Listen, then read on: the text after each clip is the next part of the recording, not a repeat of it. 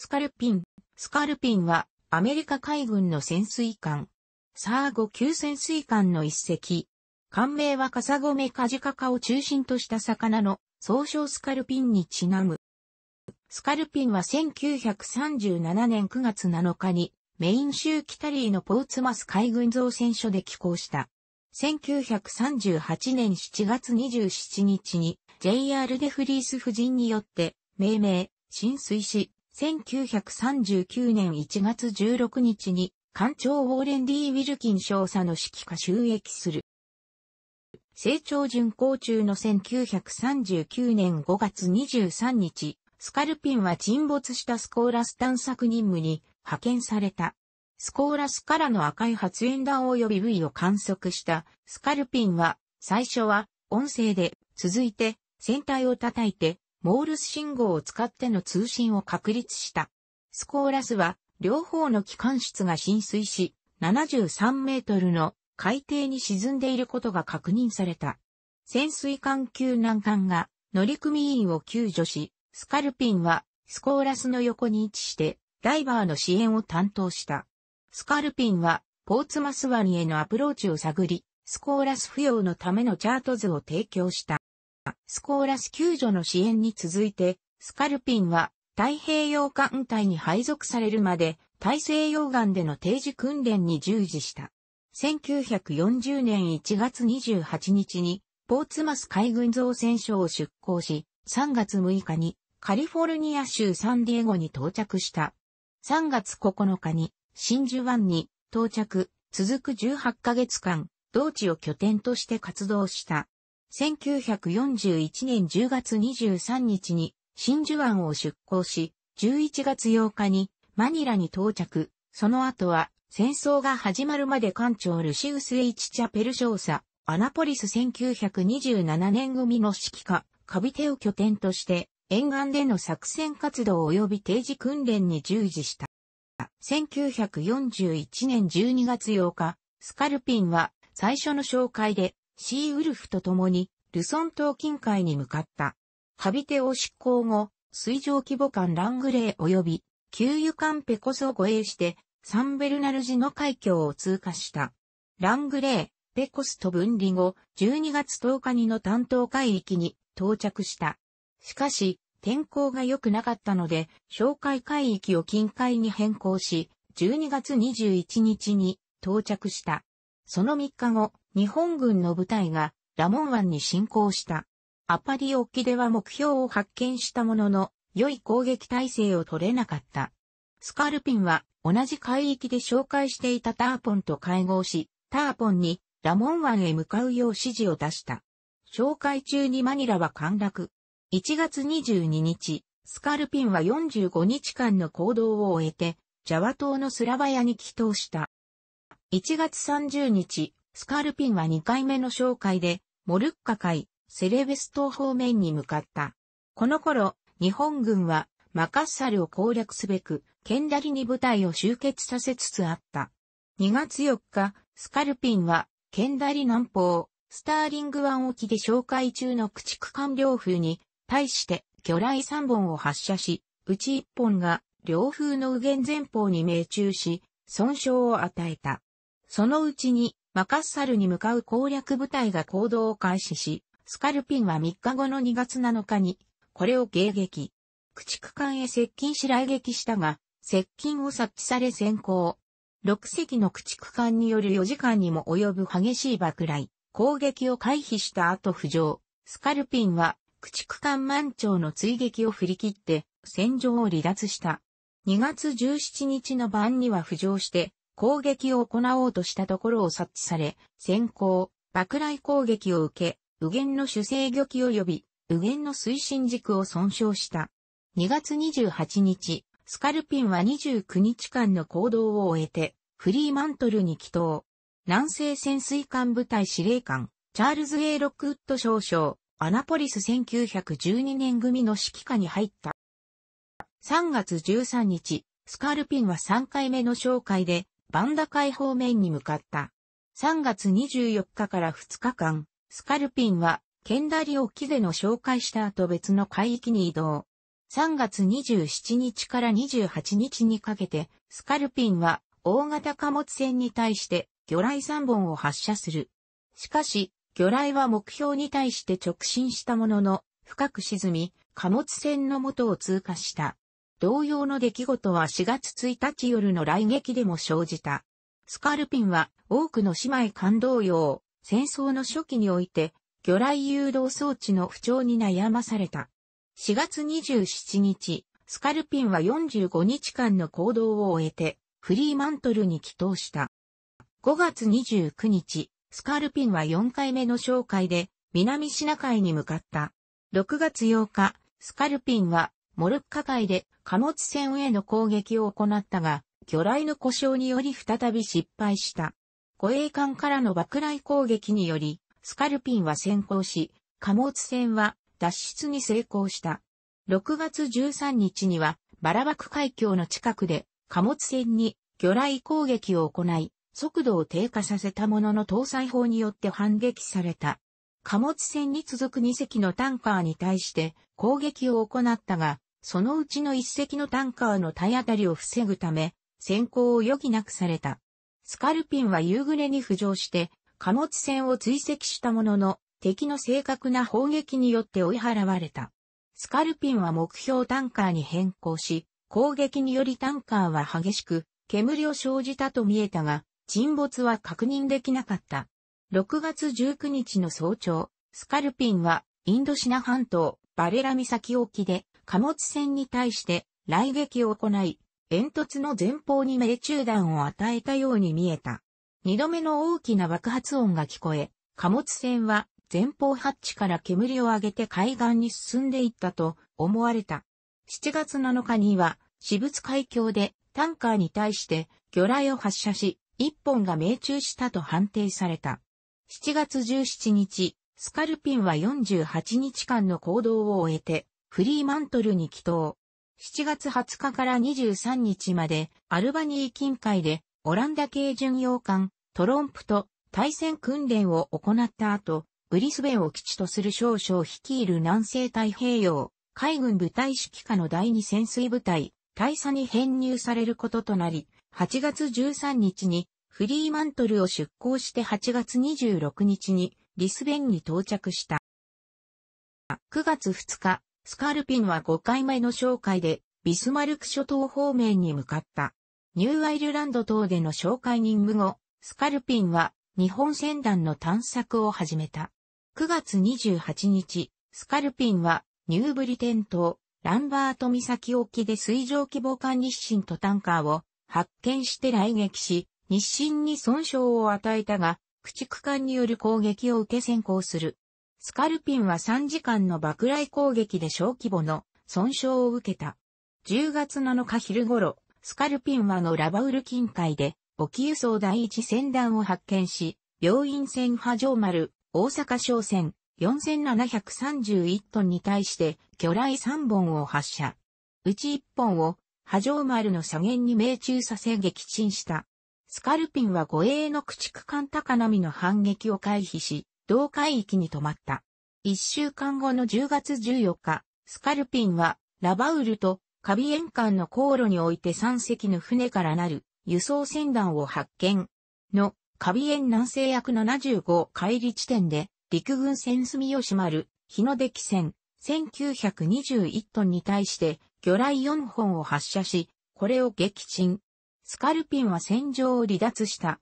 10月18日昼、スカルピンは、付近のショートランド諸島南方で、軍艦機を翻した艦隊化船団、特設巡洋艦に対して、最後の魚雷を4本発射した。木又茂雄、日本水雷戦士210ページでは、この時、スカルピンが攻撃したのは、ガダルカナル島への高速輸送作戦を終えて、祈祷中の第3水雷戦隊、橋慎太郎少将と第4水雷戦隊、高間艦少将で、スカルピンは中央列の軽巡洋艦に向けて魚雷3本を発射し、魚雷のうち1本は軽巡洋艦川内をかすめて川内の後ろを航行していたユラの左舷前部に命中したものの爆発はしなかったとする。しかし、この日実際にユラに対して攻撃したのはチョイセル島沖にいたグランパスであった。10月26日、スカルピンは54日間の行動を終えて、ブリスベンに帰島した。11月18日、スカルピンは6回目の紹介で、ニューブリテン島及びトラック諸島方面に向かった。12月11日に日本軍機による攻撃を受け、これを回避。12月17日夜から18日にかけては暗号により日本の空母を待ち伏せ追跡したが、14キロまで接近した時2隻の駆逐艦からサーチライトの照射を浴び、ついで砲撃を受けた。スカルピンは先行し無音で敵の爆雷攻撃及び、ソナーによる探索を回避した。翌12月19日夜には、駆逐艦に護衛されたタンカーに対して、魚雷を発射。二つの命中音が聞こえたが、撃沈は確認できなかった。1943年1月8日、スカルピンは52日間の行動を終えて、真珠湾に帰島。続いて、サンフランシスコに開港され、ベスレヘムスチールで3ヶ月のオーバーホールに入った。真珠湾には5月9日に到着した。5月24日、スカルピンは7回目の紹介で日本近海に向かった。6月9日夜、スカルピンはの東京湾南方、総府岸近海で駆逐艦2隻を伴った空母費用を発見。6400メートルの遠距離ながら魚雷4本を発射したが、1本は途中で爆発し、残りは命中しなかった。スカルピンは2回目の攻撃準備を急いだが、その間に、火を去っていった。6月14日、スカルピンは貨物船を攻撃し、損傷を与えたと判断されたが、護衛艦の攻撃を回避するため無音潜航を余儀なくされた。6月19日、スカルピンは犬坊崎沖で海軍庁用漁船第一偶将丸、宮内昌介、79トンと特設艦指定、相模丸、神奈川県、135トンを砲撃により撃沈した。スカルピンは、紹介の残り期間は、東北地方沿岸で行動し、何隻かの項目標を発見したものの、それらの船は海岸近くを航行しており、攻撃はできなかった。7月4日、スカルピンは41日間の行動を終えて、ミッドウェイ島に帰島した。7月25日、スカルピンは8回目の紹介で、東、シナ海及び台湾海峡方面に向かった。8月9日朝、スカルピンはの地点で、高尾に向かっていた他702船団を発見し、貨客船石膏丸、大阪商船、3183トンを撃沈した。8月16日及び17日には、台湾海峡において、対戦小海底の攻撃を回避する。8月21日にはの地点で、小型船37隻を引き連れて航行中の貨物船を発、魚雷3本を発射したが、いずれも不発であった。護衛艦が直ちに反撃し、スカルピンは先行を余儀なくされ、爆雷攻撃の間に貨物船は逃走した。同様の魚雷の故障は9月1日にも生じ、魚雷が船体に命中して生じた水煙は確認できたものの、爆発は生じなかった。スカルピンは護衛艦の反撃を避けるべく直ちに離脱した。その後は南鳥島の偵察を行った。9月17日、スカルピンは54日間の行動を終えて、ミッドウェイ島に帰島。短期オーバーホールのため、真珠湾に開港された。艦長がフレッド・コナウェイ中佐、アナポリス1932年組に変わった。11月5日、スカルピンは9回目の紹介で、シーレイブン、スピアフィッシュアポボンとウルフバックを組んで、トラック近海に向かった。折しも、ギルバート諸島攻略のガルバニック作戦が発動され、作戦の障害となる日本艦隊を待ち伏せて攻撃するため、スカルピン以下の潜水艦は、スカルピンに上艦した第44潜水隊司令、ジョン・ピー・クロムウェル大佐の指揮下に基づいて、トラック諸島で入り口の各水道を紹介することとなっていた。スカルピンは11月7日に、ジョンストン島で燃料を補給した後に、指定された海域に到着した。11月29日に、クロムウェル大佐に対して任務が命じられたが、スカルピンからの応答はなかった。命令は48時間後に繰り返されたが、やはり応答はなく、スカルピンは12月30日に喪失が推定され、1944年3月25日に除籍された。スカルピンの最後の紹介の詳細は、日本側の記録や戦後、捕虜収容所から解放された生き残りの乗組員によって明らかにされた。11月16日、スカルピンは担当海域に到着した。2日後の11月18日夜、スカルピンはトラック北方で大規模高速船団をレーダーで探知し、重要な艦隊か船団とみて追跡した。スカルピンが追ったこの船団の正体はギルバート方面への増援部隊や支援の艦隊ではなく、日本本土へ帰る練習巡洋艦鹿島と潜水母艦長芸、そしてその護衛の駆逐艦は勝木と三軍であった。翌11月19日未明、スカルピンは浮上航行し攻撃位置を取ったものの、その時点で三軍に発見されていた。船団がジグザグのコースで向かってきたため先行を余儀なくされた。間もなく山雲がスカルピンに追いついて、爆雷を3発ずつ2度にわたって投下。さらに間を置いて、爆雷10発を投下した。この攻撃で、スカルピンは促進機を損傷し、その他の小被害が生じた。スカルピンは、駆逐艦によるスコールのような攻撃を回避し、潜望鏡深度への浮上を試みた。今回の被害は大きく、深度をコントロールすることが不能となる。結果として、スカルピンは船体内にかなりの漏水が生じ、安全深度で先行した。11時9分頃に一度は水面上に浮上したものの、山雲が至近にいたのでスカルピンは直ちに先行した。山雲は3度にわたって合計17発の爆雷を投下。大量の浸水は深度を維持するため、最高速での航行を強いることとなる。これにより山雲はソナーにより、スカルピンを容易に追跡できることとなった。二度目の爆雷攻撃は、スカルピンのソナーを破壊し、スカルピンは盲目状態にあった。12時56分、コナベイ艦長は艦を水面に浮上させ、生き残るためのチャンスを与えることを決定した。艦板はまだ冠水し潜望鏡は破損。スカルピンの艦載砲は、駆逐艦の手法に対抗できるものではなかった。スカルピンの浮上を待っていたかのように、山雲は真横にいるスカルピンに対して砲撃と機銃操作を開始。これらの砲弾が司令塔を直撃し、スカルピンのコナウェイ艦長を含む環境にいた乗組員が棒、また破片により、砲手も死亡した。機銃のいては負傷しつつも唯一の反撃を続けていたが、山雲の砲撃の結果、スカルピンは後部から炎上し始めた。ここに至って生き残ったスカルピンの専任士官は自鎮を命じた。彼は排水弁を開く前にクロムウェル大佐に報告を行った。大佐は来たるべきガルバニック作戦及びその後の作戦に関する重要な法を知っており、拷問や薬物によってこれらの情報を自白することを恐れた。彼は放棄されたスカルピンからの脱出を拒絶し、自らの命を捧げた。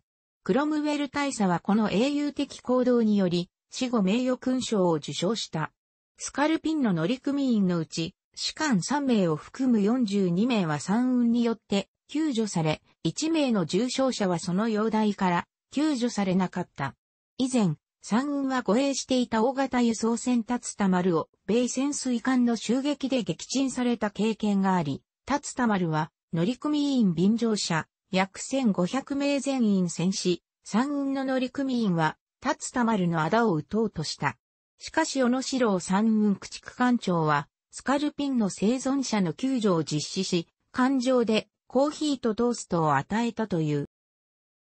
スカルピンの生存者は、トラック島の日本軍基地で、約10日間の尋問を受け、救助した駆逐艦の名前を横浜と教えられた。その後2隻の空母、沖高と運用に分乗して日本本土へ連行された。だが、沖高に乗艦した20名は不運だった。12月2日、沖高はセールフィッシュの雷撃により撃沈された。この攻撃で、起きたかに、上官のアメリカ兵捕虜19名が死亡し、残る1名は通過する日本軍駆逐艦、裏風もしくはさざ波の船体はしごを掴んで救助された。皮肉にもセールフィッシュは引く当時は、スコーラスの艦名であった4年半前にスカルピンが救助を支援した艦であった。運用に乗艦した21名の乗組員は12月5日に日本に到着、大船収容所や東京不慮収容所、大森に収容。さらなる尋問の後、終戦まで足尾銅山で刺激された。スカルピンは第二次世界大戦の先行で8個の従軍聖賞を受賞し、加えてを受賞した。楽しくご覧になりましたら、購読と良いです。クリックしてください。